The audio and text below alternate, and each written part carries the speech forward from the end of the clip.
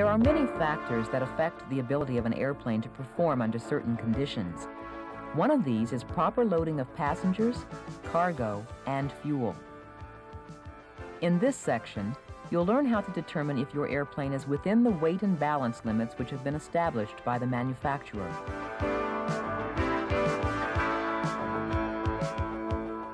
Each airplane is designed to be operated at or below specified maximum weights and within a certain center of gravity range. As you learned earlier in the stability section, improper loading can adversely affect performance. In addition, all figures in the performance section of the POH are based on an airplane being loaded within the specified limits. Let's begin our discussion by looking at the various aircraft weights with which you should be familiar. The starting point for any calculation is the basic empty weight, which includes the airplane, optional equipment, unusable fuel, and full operating fluids, including oil. Payload includes the weight of the passengers and any cargo or baggage. Useful load includes the payload and the weight of the flight crew and usable fuel. The sum of the basic empty weight and the useful load is called the ramp weight, which is the weight of the aircraft during ground operations. You adjust ramp weight by subtracting the fuel to be used for engine start, taxi, and run-up to get takeoff weight. This weight should not exceed the maximum takeoff weight found in the POH or the weight and balance records. If your airplane is too heavy, it might have trouble getting off the ground. An airplane also has a maximum landing weight. This weight can be determined by subtracting any fuel used during the flight from the takeoff weight. The maximum landing weight can also be found in the airplane's POH. If you operate your airplane above this weight, the shock absorbed during landing may overstress the landing gear or damage the wing support structure. When you have determined that your loaded airplane will not exceed the maximum weight, you need to ensure that it is safely balanced. An airplane is in balance when its center of gravity, or CG, is located within the limits prescribed by the manufacturer. The CG is measured in inches aft of a reference datum, which is an imaginary vertical line set at some point along the longitudinal axis of your airplane. The datum can be set anywhere the manufacturer chooses. Some popular locations are a point ahead of the airplane, the firewall, or the leading edge of the wing. For this airplane, it is located at the nose. The center of gravity for every component is located in relation to this point. The longitudinal distance in inches from the datum is called the arm or station. Since the baggage area for this aircraft is located 142.8 inches aft of the datum, its arm is considered to be 142.8.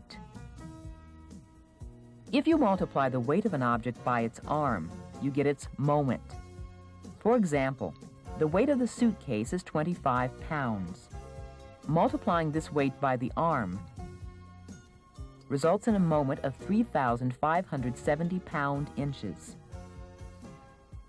By adding all the moments together and then dividing by the total weight, you'll get the center of gravity for the loaded airplane. It's your responsibility as a pilot to make sure this CG is within limits. To help you accomplish this task, manufacturers use three basic methods. These include the computational, graph, and table methods. Let's first work a problem using the computational or mathematical method. Your first step is to find the basic empty weight and moment in the aircraft's weight and balance records.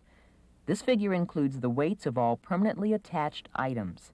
Therefore, if any equipment is added or removed, the weight and balance records must be adjusted. For this problem, let's assume the basic empty weight is 1,500 pounds.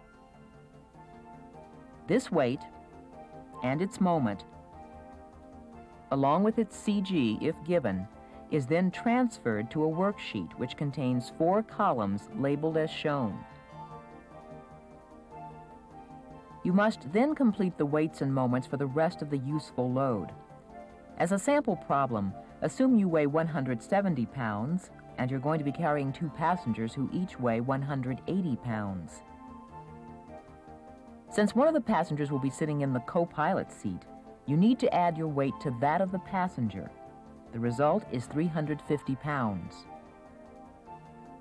Since the arm for the pilot and front seat passenger is 80.5 inches aft of datum, the moment is 28,175 pound inches.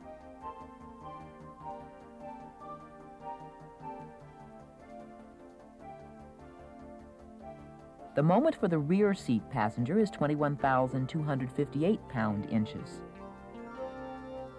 The next major item is fuel. Since you intend to carry the maximum amount of usable fuel, which is 48 gallons, and since each gallon of avgas weighs 6 pounds, the total fuel load weighs 288 pounds. This weight times the arm of 95 inches yields a moment of 27,360 pound inches. The last item is the baggage, which in this problem weighs 60 pounds. Its moment is 8,568. If no more items are loaded on the airplane, the computational list is complete. Your next step is to add the weight and moment columns. In this example, the total weight of the loaded airplane is 2,378 pounds.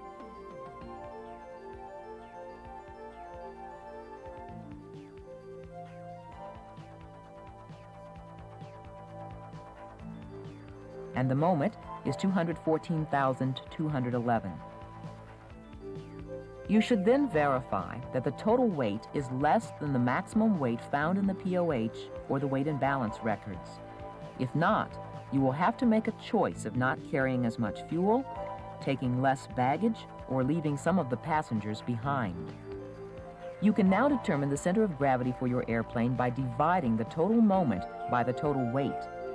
The CG with this loading is located 90.1 inches aft of the datum.